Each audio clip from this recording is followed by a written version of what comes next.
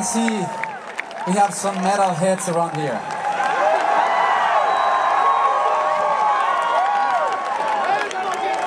So, should we play some metal medley?